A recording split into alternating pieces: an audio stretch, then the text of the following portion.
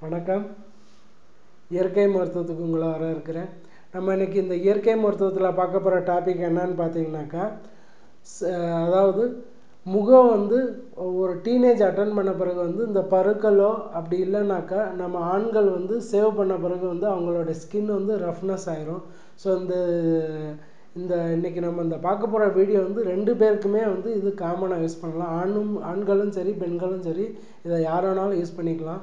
ரஃப்பான skin இருக்கிற இடத்துல அதாவது முகத்தில் வந்து ரொம்ப கரகரப்பான ஒரு ஸ்கின் இருக்கிற தோல் அமைப்பு இருக்கிறவங்களுக்கு வந்து நல்ல ஒரு ஸ்மூத்னஸான தோல் வேணும் அப்படின்றவங்க இதை தாராளமாக ட்ரை பண்ணலாம். சரி.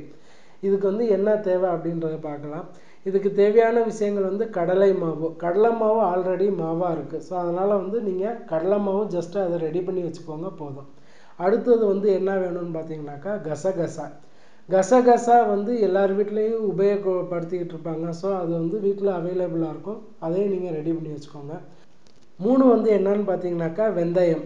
ஸோ இப்போ நமக்கு தேவையான பொருட்கள் என்னன்னு பார்த்தீங்கன்னாக்கா கடலை மாவு வெந்தயம் கசகசா. இந்த மூணும் தான். இப்போ கடலை மாவு வந்து ஒரு பத்துலேருந்து பதினஞ்சு கிராம் எடுத்து வச்சுக்கோங்க. இப்போ ஒரு ஜென்ரலாக வந்து நம்ம முகத்தில் அப்படின்னு சொல்லும்போது நம்ம ஃபேஸ் ஸ்மூத் ஃபேஸ் வேணும் அப்படின்றவங்களுக்கு வந்து நம்ம செய்யக்கூடிய விஷயங்கள் என்ன அப்படின்றத நான் ஏற்கனவே சொல்லிட்டேன்.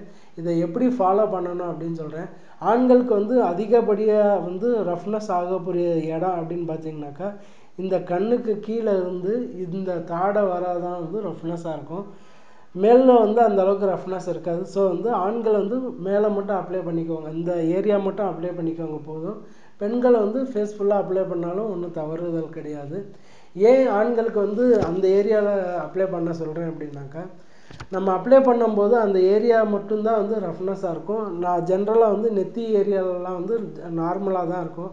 ஸோ கா நீங்கள் ஈவனாக அப்ளை பண்ணும்போது வந்து உங்களுக்கு அந்த ஸ்கின்னோடைய டிஃப்ரென்ஸ் தெரியாது. ஸோ அந்த அஃபெக்டடான ஏரியாவில் மட்டும் நீங்கள் அப்ளை பண்ணும்போது வந்து உங்களுடைய அந்த ரிசல்ட் தெரியும்.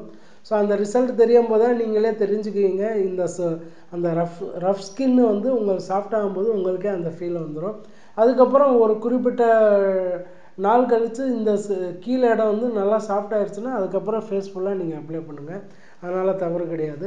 சரி இதை வந்து எப்படி செயல்படுத்த போகிறோம் அப்படின்றத பார்க்கலாம். இதுக்கு தேவையானது வந்து வெந்தயம் கடலை மாவு கசகசா. இப்போ வந்து வெந்தயம் வந்து ஒரு பதினஞ்சு கிராம் எடுத்துக்கிறேன். கடலை கடலை மாவு வந்து ஒரு பதினஞ்சு கிராம் எடுத்துக்கிறேன்.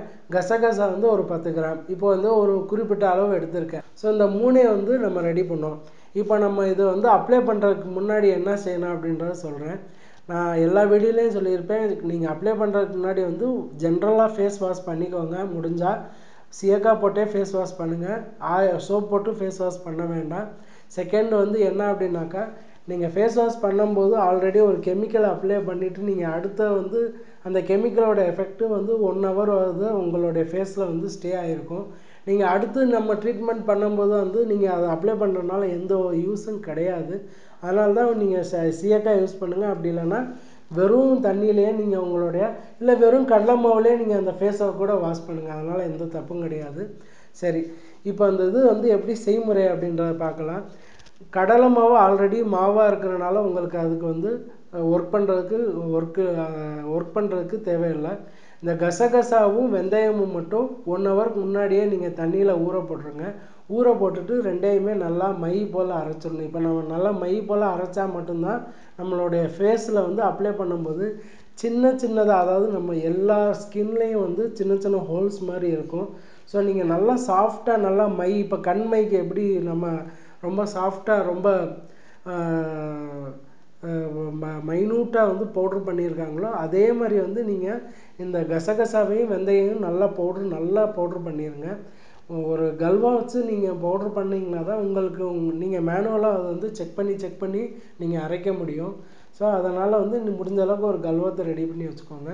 இந்த கசகசாவையும் இந்த வெந்தயத்தையும் நல்லா பவுட்ரு ப நல்லா மை மாதிரி அரைச்சிட்டு கடலை மாவு ஆல்ரெடி மாவாக இருக்குது இந்த மூணையும் குறிப்பிட்ட அளவுக்கு ரொம்ப த தண்ணியாக இல்லாமல் நல்லா ஒரு பேஸ்ட்டு மாதிரி ஒரு லேயர் அப்ளை பண்ணுறதுக்கு பேஸ்ட்டு மாதிரி தண்ணி மிக்ஸ் பண்ணுங்கள் இந்த மூணையும் மிக்ஸ் பண்ணிவிட்டு ஃபேஸில் அப்ளை பண்ணிவிட்டு ஒரு சின்ன மசாஜ் மாதிரி நல்லா பண்ணுங்கள் சின்ன மசாஜ் மாதிரி பண்ணிவிட்டு ஒரு ஃபிஃப்டீன் மினிட்ஸ்க்கு அப்புறம் திரும்ப இன்னொரு முறை வந்து கொஞ்சம் நல்லா ஏன்னா ட்ரை ஆயிரும். ட்ரை ஆன பிறகு இன்னொரு முறை நல்லா மசாஜ் மாதிரி பண்ணுங்கள் ஒரு ஹாஃப் அன் ஹவர்லேருந்து ஃபார்ட்டி மினிட்ஸ் வந்து நீங்கள் அதை மசாஜ் பண்ணிவிட்டு நீங்கள் ஃப்ரீயாக விட்டுருங்க.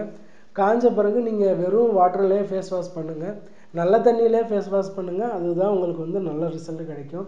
இதை நீங்கள் வந்து ஒரு நாள் விட்டு ஒரு நாள் அதாவது இன்றைக்கி திங்கக்கிழமை நான் பண்ணியிருக்கேன் அப்படின்னா நீங்கள் புதன்கிழமை பண்ணுங்கள் அடுத்து அடுத்து வெள்ளிக்கிழமை பண்ணுங்கள் இந்த மாதிரி ஒரு நாள் விட்டு ஒரு நாள் பண்ணும்போதே வந்து உங்களுடைய ஃபேஸ் வந்து ஃபைவ் டு செவன் டைம்ஸ் அட்டன் பண்ணும்போதே கொஞ்சம் சாஃப்ட்னஸ் வந்துடும் நீங்கள் ஒரு ஃபிஃப்டீன் டைம்ஸ் அதை வந்து நீங்கள் ரெகுலராக பண்ணிங்கன்னா உங்களுக்கு நல்லா ஸ்கின் சாஃப்ட் ஆயிரும். இந்த ஃபேஸோடைய ஸ்கின் ரஃப்னஸ் போயிட்டு நல்லா சாஃப்ட்னஸான ஸ்கின் ஸ்கின் வரும். ட்ரை பண்ணி பாருங்கள் ரொம்ப நல்ல ரிசல்ட் கிடைக்கும். ட்ரை பண்ண பாருங்கள் நீங்களே சொல்லுவீங்க நல்லா இருக்குன்னு. அதே மாதிரி இந்த வீடியோவுக்கு வந்து சப்ஸ்கிரைப் பண்ணுங்கள் உங்கள் ஃப்ரெண்ட்ஸுக்கு ஷேர் பண்ணுங்கள் ட்ரை பண்ணி பாருங்கள் நல்ல ரிசல்ட் கிடைக்கும். வணக்கம்.